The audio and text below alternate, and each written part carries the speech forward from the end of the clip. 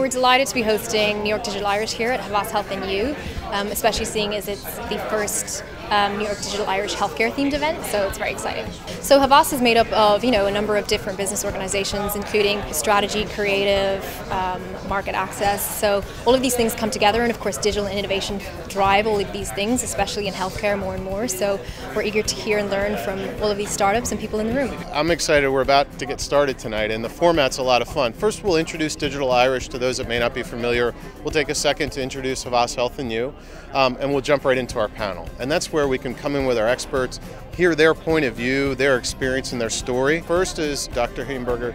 Karin is the CEO of a company called Lyfebulb, and their business is really about representing the empowered patient's voice in healthcare. And they create forums for organizations to engage more with empowered patients. And when we, that's one of the things we're going to learn about it. Well, what is an empowered patient?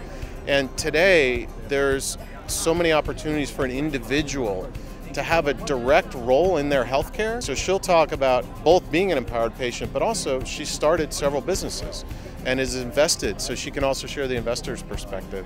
In addition to that, Mikki Nasch is the VP at Evidation Health, which is a fascinating new startup backed by Stanford and the GE Innovation Fund.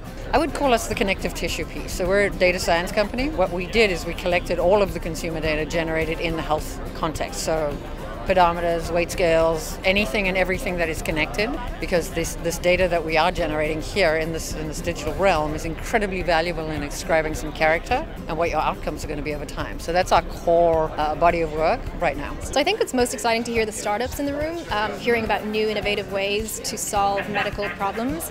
Um, the traditional model of healthcare is vastly disappearing, and we're looking to um, data and technology to solve some of chronic problems in terms of illnesses that have existed for a long time. I was actually very happy to be invited to this uh, for a couple of reasons. What I'd look to look forward to get out of this meeting is meeting some people that potentially could be partners with us. We are planning to expand, um, so anybody who's got the right background, um, you know, would also be appropriate to talk to them as well. I've traditionally done business with Havas, so I'm very familiar with them. In terms of the, the people who are not Havas people, but are just, you know, potentially resources within the area, uh, it's. I think this is a great an opportunity, a great venue to kind of meet those people and sort of see what their background is and, and how it might apply to what we do. We've built a digital platform that's able to turn the referral process into an on-demand space where doctors are actually competing for a patients, uh, competing for patients' uh, time, and uh, so we've, we've changed the paradigm completely, and it's uh, it's uh, it's having a huge effect in healthcare right now. The hardest thing in the world to do is actually get some some form of exposure. When you're new and you're in the healthcare space, everybody's waiting on you to have done something before they actually want to take you in and even listen to you. Uh, situations and, and, nights like like tonight.